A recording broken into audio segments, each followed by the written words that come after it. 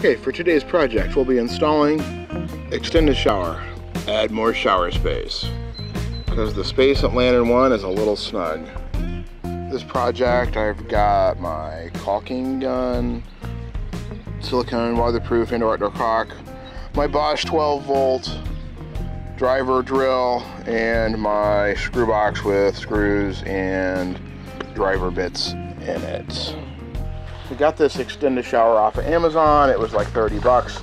I'll show you the Lantern One shower space. Um, for July 4th, we're really busy and normally use our camp showers. Um, I do use mine occasionally when it's really busy, especially with, with the social distancing stuff and the fact that stuff's starting to move around again a little bit more. I'm gonna make myself a little bit more room and had one of these in the other camper. It was already in there. So, all right. So, pretty simple setup here. Welcome back, everyone. Inside the shower here at Lantern One. Um, I've got good head clearance. My vent fan is over here. Um, I'm running on a wide angle lens. Hopefully this comes through. But what I've run into is space-wise, literally like the shower is about shoulder width for me.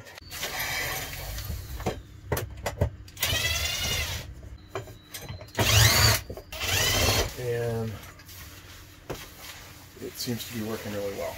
I'm just gonna fill these in. It's a bathroom, it's a moist environment, so I'm gonna plug any of my holes. It looks like my camera shut off, but I've got some coated deck screws that I'm using and uh, put one side in. I'm just to eyeball the other and find a stud right here and reattach this in a moment. And I'm to hit all this with a coat of silicone here. Um, it's based on the old, where the old one was. Looking for a stud. So we're to have to, just to go right there, I think. This one actually may be a smidge lower. I hope it's, we're just inside of there.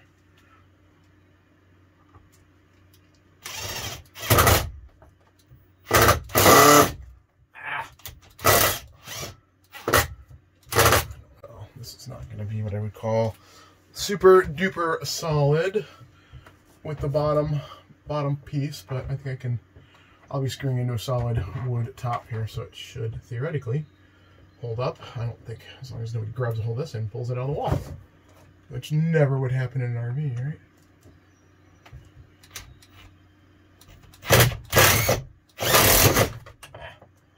Just plain old mar, mar up the ceiling. I need an extension. Where I need to go, I think it will. All right. Bingo. All right. It's, I'm not super, super happy with that. Okay, I'm gonna silicone this in and then put the rest of it together. Hopefully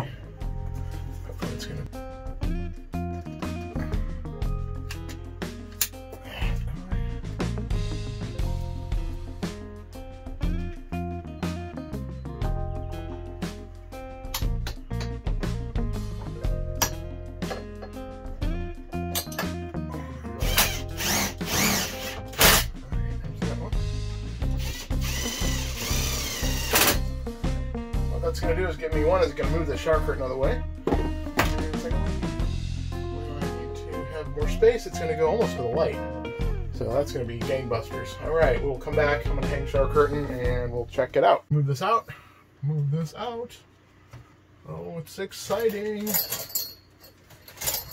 Oh my goodness.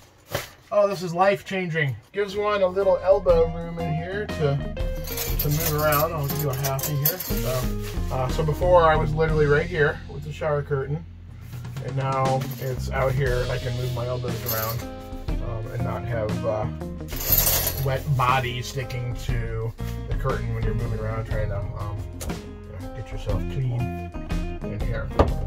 All right. The other trick I did is I have uh, some Never Wet, and I can dig that out. But I sprayed the walls in here down because these are just the paneling that are supposed to be just fine and waterproof as the uh, as a shower stall. They've caulked it. They did miss a couple spots. I went back and and filled that in. Um, um, so what I did is I put Rust-Oleum Never Wet. It says auto interior. I figured it would work fine for this. Upholstery, floor mats, and carpet. This is like upholstery, floor mats, and carpet. Um, you spray down the walls, let it sit for a few hours, and basically um, water pretty, kind of pretty much. It doesn't run off great because there's texture underneath here, but it beads up and runs down, and that's something I put in my shower here, um, and just to protect it, another step of protection. Plus, I have the ever-present RV shower squeegee, and that kind of my combo. But this uh, shower curtain, one is I'll be able to see better in there, and secondly, now it's out of the way. And if I do have anything wet, I can hang it. It'll drip directly into my palatial tub.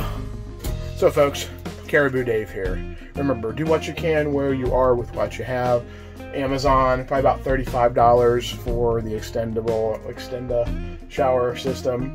It's got a little fudge room, so if one side's not quite even or slightly higher than the other, it's still still going to work, but that'll make a big difference showering in the RV. Plus, it just looks better with the curtain out of the way. Caribou Dave, the adventure dog who's sleeping out in the grass. Stay safe. Um, Catch you later.